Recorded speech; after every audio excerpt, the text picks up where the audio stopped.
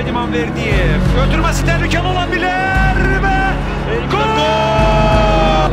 1-0 Ehli Gün Nebiye Veza maçı.